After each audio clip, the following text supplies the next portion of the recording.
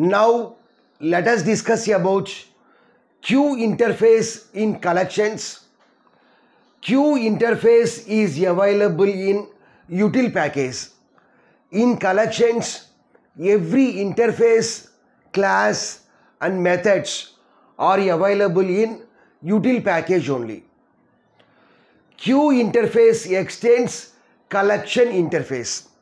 So here collection is the parent interface. So collection child interface is queue interface. So here the relationship between interface to interface is extends. Class to interface means implements. Here queue is interface, collection is interface. So we can say that queue interface extends collection interface. So collection is parent whereas queue is child interface. So what is collection? Collection is the parent whereas what is the child interface? Queue is the child interface. Okay. So this is parent and this is child. Next. Queue interface represents a real world queue. So in a queue interface is nothing but it represents a queue. Like example, people waiting at a movie ticket counter or a line of people waiting at the bank. So any queue is nothing but queue only. A line of people always represents queue only. Next, queue is a linear data structure which is used to store a collection of objects. So here queue means linear data structure. What is a linear data structure? All the objects will be arranged in linear fashion. So one by one like this. So what is the use of queue? It is useful to store a collection of objects. Next, queue works based on the principle of FIFO. FIFO means first in, first out. In means insertion, out means deletion. So what is first in, first out? The element which is inserted first into the queue will be deleted first from the queue. In queue we have two ends. So one is front end, another one is rear end. So front is nothing but beginning of the queue whereas rear means end of the queue. Okay. So here let us assume that here uh, we have a queue like this. So initially front and rear points to minus 1. So here we can perform insertion at rear end. So insertion operation will be performed from end of the queue. End of the queue is nothing but rear end. Whereas deletion operation will be performed at the front end. So front means beginning of the queue. So from beginning of the queue we can perform the deletion operation. So initially front and rear points to minus 1. So minus 1 means queue is empty. Let us assume that we want to insert 10, 20, 30. 10, 20, 30. So initially 10 is inserted. So before that uh, we know that insertion means it will be performed from the rear end. So what is the previous value of rear? Minus 1. So minus 1 plus 1 means 0. Insertion will be done at rear end. So we have to increment the rear value. So now rear points to 0. So insert the value here. Next front always points to the beginning of the queue. Here the beginning of the queue is 0. So front and rear are at 0. Next let us perform one more insertion operation. So for performing insertion we are using the rear end. So now rear will be incremented. So rear points to 1. So 20. Front will be at 0th index only. Now let us perform one more insertion operation. Insertion will be done from rear end. So increment rear value. Now rear points to 2. So insert the element. So now front is at 0 beginning of the queue. Rear is nothing but 2 end of the queue. So likewise we can perform the enqueue operations one by one. Next let us perform one removal operation. Removal will be done from the front end. So what is the front value? 10. So 10 will be removed and after that front value will be incremented. After performing the removal operation, we have to increment the front value. So now front points to 1, rear points to 2. So likewise we can perform the operations. Okay. Now let us see about methods of the queue. So on queue interface, uh, to, uh, we, we have plenty of methods, but uh, these seven methods are important one.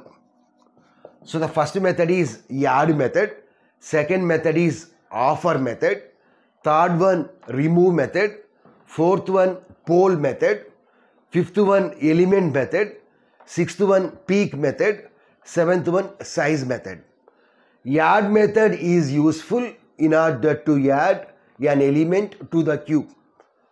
Suppose if the insertion is successful, then it returns true value. Suppose if the insertion fails, so when the insertion will fails, we are performing add operation. So when the queue is full, then we can say that insertion operation fails. So if insertion fails, then it returns an exception. Next we have offer method. Add method and offer method both are same only. Offer method is also useful in order to add an element to the queue. If the insertion is successful, it returns true value. Whereas if the insertion fails, that means if the queue is full, then it returns false value.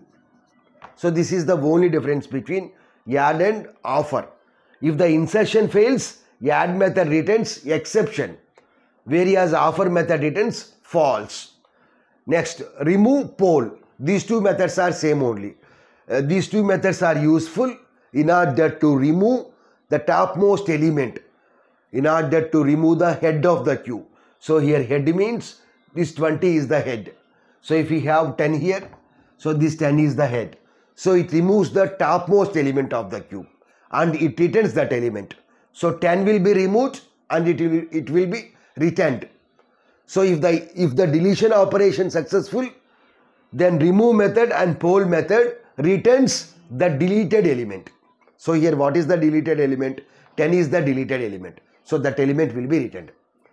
If the operation fails, when the deletion operation fails, if the queue is empty, then it is not possible to perform the deletion operation.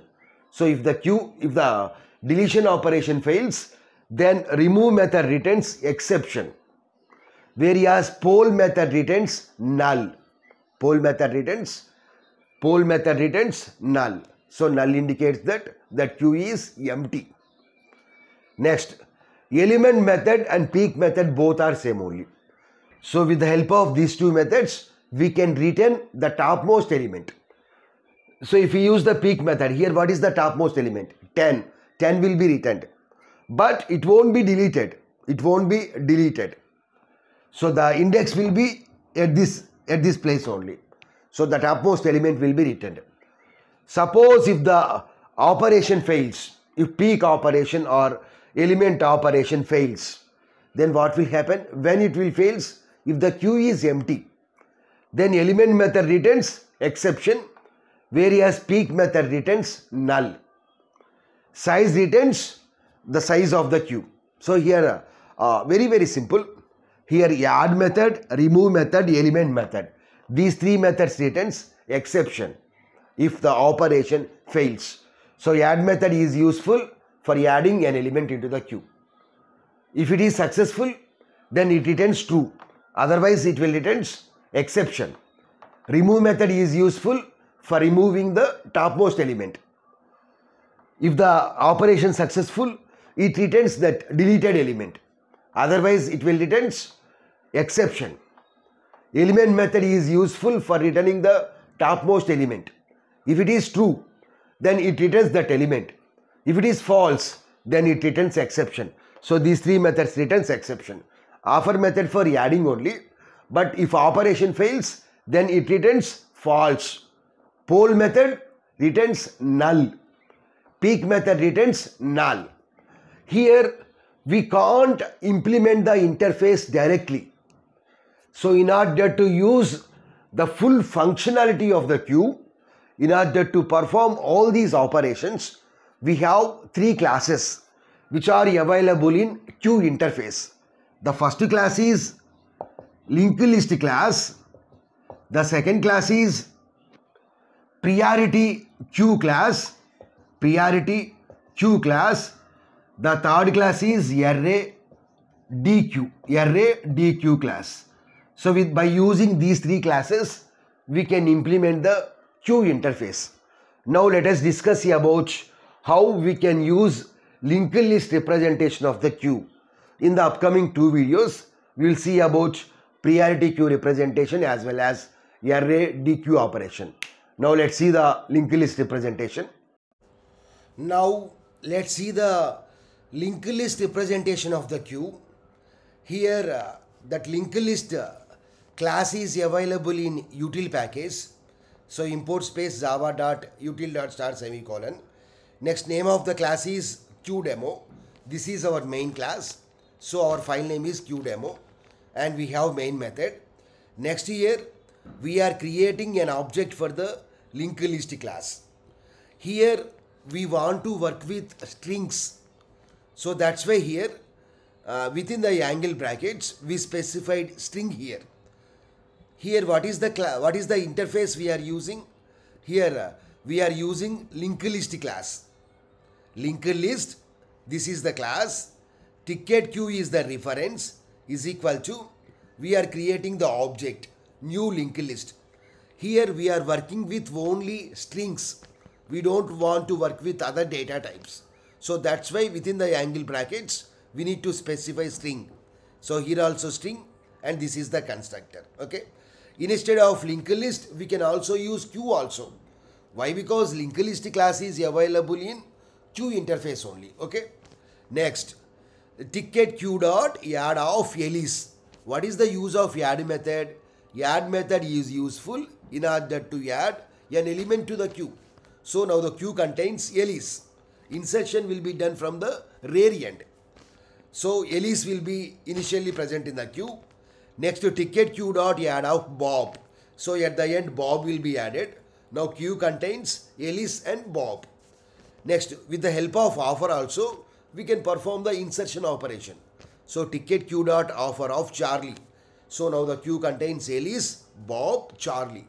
Why? Because insertion will be done from rear end, end of the queue. Next, David we are adding. So if we display ticket queue, then in the square brackets, we will get the output Alice, Bob, Charlie and David. Okay, Alice, Bob, Charlie and David. Next, we are using the element method. So what is the use of element method? Element method is mainly useful for removal operation. Element method is you I'm sorry. Uh, the major use of element and peek is for returning the topmost element. So here what is the topmost element? Alice is the topmost element. So Alice will be returned. What is Alice? It is a string. So that's why we are representing string here. Suppose if we want to work with only integers, then here we need to specify int. Okay. So ticket queue dot element means it will returns the topmost element. So what is the topmost element? If you see the output. So what is the topmost element? So people in the queue, Elise, Bob, Charlie, David. So first person in the queue, Elise. Next, system dot out dot println first person in the queue. So what is the output? What is the output? Ticket queue dot peek means topmost element. What is the topmost element? Alice is the topmost element. Next we are performing the removal operation. Ticket Q dot remove. So what is the use of remove method? It removes the topmost element and it will be returned. So here we are returning the string. So that's why here we are storing the information in the string variable string removed person equal to if we want directly here also we can write uh, here we can use ticket q dot remove ticket q dot in place of removed person we can use that uh, variable. Ticket q dot remove. So that uh, what is the first one? First uh, uh, first element of the queue Alice so Alice will be displayed here. Next if we use the next statement ticket q dot poll method. So what is the use of poll? The topmost element will be removed and it will be returned. So now polled person contains Bob. So if we display polled person, then we will get Bob. So in place of polled person, we can also write ticket queue dot poll. Next, if we display the size, then the size contains two elements. Why? Because the first two are deleted. So the size of the queue is 2. Next, if we display the ticket queue, then we will get remaining elements. So what are the remaining elements? Charlie and David. So that is nothing but linked list uh, representation of the queue. In the next video, we will discuss about uh, priority queue representation of the queue.